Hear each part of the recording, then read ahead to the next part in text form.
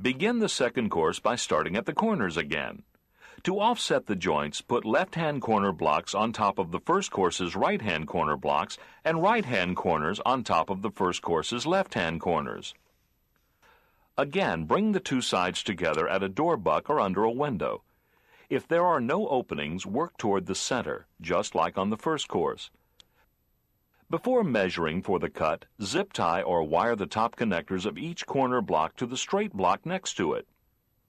Unlike the first course, there is no need to hold all the blocks together with zip ties or wire. The second course is held tight by locking into the first. That's part of EcoBlock's design. Cut the final block and fit it in place. Make sure that the vertical joint is offset at least 4 to 8 inches from the joint on the course below.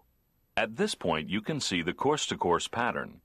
Except for special cuts required for wall openings, the first course is the model for the third, fifth, and so on.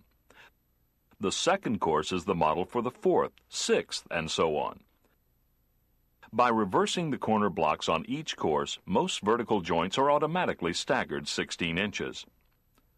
The second course is also an excellent time to check the level of the walls. Level is checked by either shooting it with a laser or using a bubble level and pulling a string tight from corner to corner. If there is a high spot along a wall, while someone presses down with moderate pressure, carve out a bit of the bottom of the first course block to make up for the high spot in the footer or slab. If there's a dip in the form, build it up with shims from scrap EcoBlock. Once you're satisfied with the level of the forms, set the second course rebar if the engineering plan calls for it. Note how the rebar is staggered front to back down successive courses in a finished form. This keeps the vertical rebar near the center of the concrete cavity.